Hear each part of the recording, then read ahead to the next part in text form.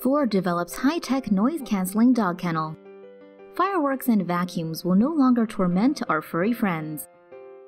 Ford has designed a prototype for a noise-canceling dog kennel employing the same noise control technology installed in some Ford vehicles.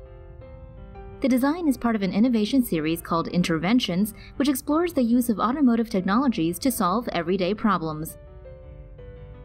According to a press release published in the company's blog, the kennel is isolated with high-density cork, noise cancellation panels, anti-vibration block risers, and soundproof ventilation. Special microphones installed within the kennel detect loud noises. A built-in audio system then generates opposing frequencies, significantly reducing noise within the kennel. According to the American Kennel Club, dogs have a maximum hearing sensitivity of 1000 Hz, Humans have a maximum hearing sensitivity of 2000 Hz, making doggos more sensitive to loud noises.